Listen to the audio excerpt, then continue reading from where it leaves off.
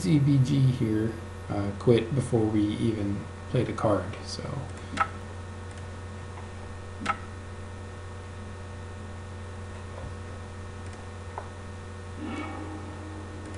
Um, yeah, decent hand.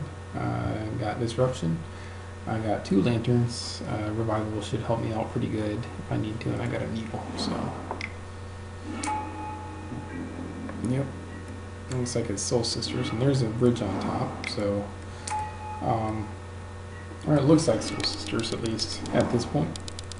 I think it's like some sort of rally deck. So I got Blood out Artist out of the way because that was the biggest threat I had going against me.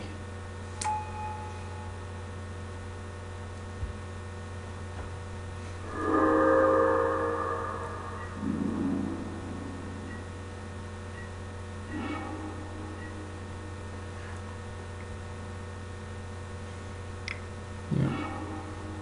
Go and grab the stirrings, get an opal, so I can get ready to play out my bridge.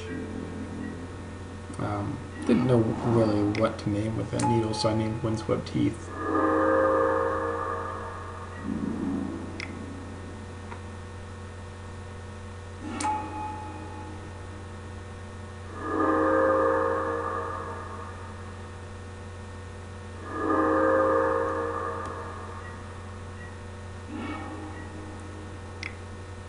Huh, I just realized my opponent didn't attack that turn.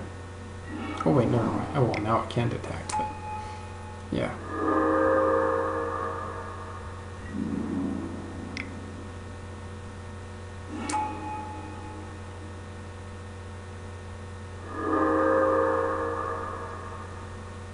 So opponent has zero cards left in hand.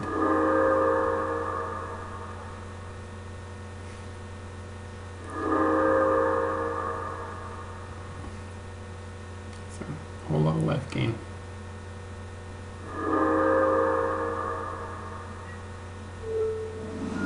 I go ahead and put the stirrings back on top. See if I can't dig into something useful. And there is another shredder.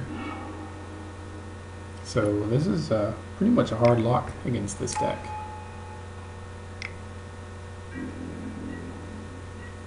And at this point the game's pretty much over, but I got to see a good bit of my opponent's deck. There's a Zulaport uh, Cutthroat there, and a Blood Artist, so there's a whole lot of uh, triggers it looks like my opponent was attempting. I actually, while I was playing this, I was like, is this tournament practice? And sure enough, I went back and it says this was tournament practice. But, I don't know, I doubt that I would bring this into tournament practice. If I were playing that, what my opponent's playing. Um, I don't have to know my opponent a whole lot. I do know that my opponent does have a few active cards. Uh, I'm assuming a full play set of Blood Artist, a full play set of Cutthroat.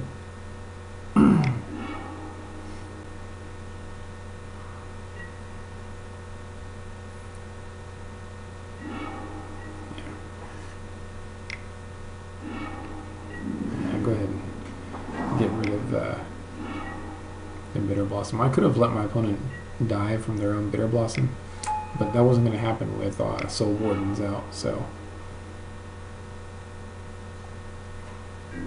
yeah, I could not afford to let my opponent have the Seer.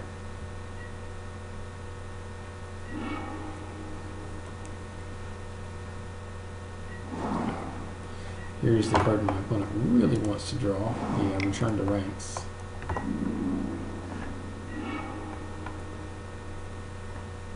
And uh, I, I have a hard lock here, my opponent concedes.